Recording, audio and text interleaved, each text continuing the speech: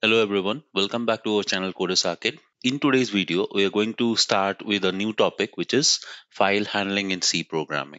Okay, so guys, we have also delivered playlists in file handling in Java and Python. So today we are going to start with one new one which is file handling in C programming. Okay, so before starting this video, I would like to request all of you to please show your love and like and share our videos with your friends and family. And also at the same time, please don't forget to hit the bell icon and subscribe to our channel Thanks a lot for your support, guys. And please, if you really like the content, please don't forget to subscribe. That really motivates us a lot. Okay. So without any more ado, let's get started. And this will be the part one of the video. Okay. Which I will be showing how to read data from a text file using C language. Fine. So let's directly go to our IDE.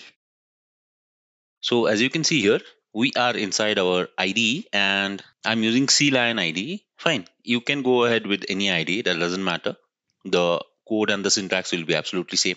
Okay, so here guys, you can see I have a directory called file handling. Inside that, I have a C file called readfile.c and I have this f1.txt. This is a text file. Okay, guys, the extension is very, very important. You have to keep that in mind. Okay, so if you see here, I have some data inside this file. You can see at Coders Arcade, we believe that learning to code, etc., etc. We have some simple paragraph written here and I will be showing you how to read data from this particular file. Okay. So here I have the read file .c file created where I'll be writing the code. Okay. So before starting, you should know how to open a file and close a file. Okay. For that, let's start. So file handling in C is actually a crucial aspect of programming, allowing you to read from a file and also write data to files. Okay. So we need to know three modes. Okay. So read, write, and sometimes we need to add some data. Okay, that is called append. These are the three modes actually. Okay, fine. So we'll be talking about the read mode right now. Fine. And guys, for opening files, we need a function called fopen. We'll be using this function, okay, fopen. And those of you who don't know the fopen file function it returns a file pointer that points to the beginning of the file okay? So let's get started with it. So i'll just write something here used to open a file. This function is used to open a file. And just because it is a function let me write a bracket here. Fine so let's get started. So first thing first because it is returning a pointer so i'll use the file pointer here. You can see here guys file capital f file. File i'll create the pointer fptr you can write any name. I prefer this. So after that after reading the data i need to store it somewhere right? So for that i will just use a character array called buffer. Okay and let me fix the size to say 100 bytes. Okay so 100 characters it will print. Now with the help of the pointer I will use a fopen function and here I will have to give the parameters or the arguments. It takes two arguments, which is first of all the file name and then it takes the mode. Fine. You can see here, right? The file name and the mode. So let us go here and give the absolute path of the file name. Okay. So I have the f1.txt. I will just right click and you can see here I have the copy path reference option. I'll click on this and go to absolute path. Then I will just bring my cursor inside the double quotes and paste it here. You can see guys, I have the file name copied here. Fine. And as I said, we have three modes, read, write and append. For read, we are trying to read some data, right? So I'll just write R as the mode, small r. Fine, got it? Now, very important thing, we always have to check if the file opening is successful or not. Okay, if the file is not successfully opened, then what happens? The fopen function returns null. Okay, so we have to always check for null. So how do you do it? It's very simple. I'll just write if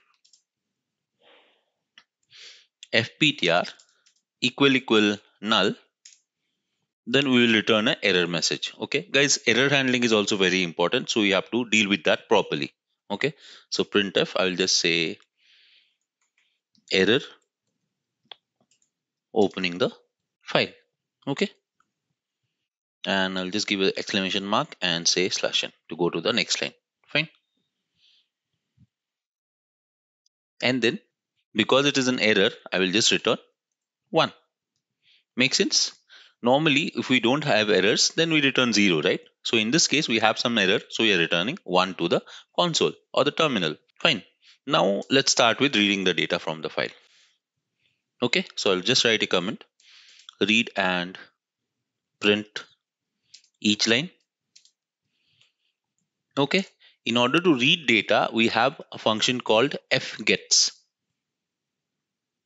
Okay, guys, we can read data using three different functions. We can use fscanf, we can use fgets, or we can use fread. Any one of these. Fine. I will be using the fget function. Okay, let's see how to do it. So I'll just use the while loop. The while loop is needed because if there is no data in the file, it's unnecessary wasted of resources, right? We should not waste our resources. So I'll just say while I'll use the fget function. Okay, here I will take my buffer variable and then till what extent do you want the max count? So in that the max count is the size of our buffer. Okay. And then the last one is from where do you want to read? Okay. So for that it is actually the file which is the fptr. Fine. You can see guys. First it takes the variable where we want to store the data after reading and then we have the max count how much data you're reading and then the file the location of the file which is stored in the file pointer. Fine? And if this is not equal to null then only we'll read the data. Is that clear? Fine. Now just say printf because the data in the text file is considered a string. Guys if we have integer decimal whatever it is it is considered as string only okay inside the text file. So i'll just write percentage s as the format specifier and then i will use my buffer. Fine. And guys please remember after we have read the file we need to close the file. So i will use fclose and then i will just pass the fptr our file pointer. Fine. That's all. We are done with it. Now let's just run it and see if we are able to successfully read the data or not. Fine. So I'll right click and run this. Yes guys, you can see here it's giving us the data. At CodersArcade, we believe that learning to code should be an engaging and enjoyable experience. Okay, and so and so. We're getting this data read from this particular file, which is f1.txt. Fine. So this is it guys. This is how you read data from a file. Okay. I'll repeat myself again. First, we take a file pointer and then we take a character array so that we can store the data from the file that we have read and then we take the pointer and we use the fopen function here which takes two arguments the first one is the file name or the path the second one is the mode because we are reading data so it is read mode after that we just have to check if the file open function has actually read the file or not so we check if it is null if it is null, that means we have not been able to read the file. So we print the error message and we return 1. That means there is something wrong in reading the file. Okay. After that, if we have successfully read the file, then we read the data from the file. Okay. So we can use either fscanf, fgets or fread. Fine.